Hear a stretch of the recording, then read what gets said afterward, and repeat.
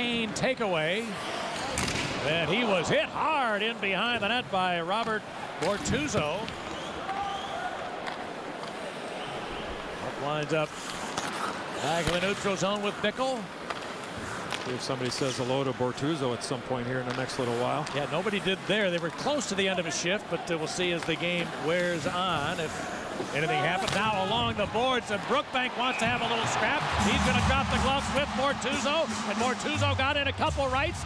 An uppercut seemed to land. Brookbank looking to answer, but Sheldon Brookbank knowing his job going after Bortuzzo, and Bortuzzo probably got the decision on points, although Brookbank, part of the job is to show up.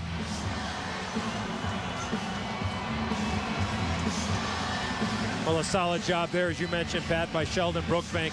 Here's Patrick Kane. He steals the puck from Bortuzzo. That was a good hit. Probably the follow-through kind of caught Kane a little bit up around the shoulder. And there you see at the top of your screen, there's Sheldon Brookbank.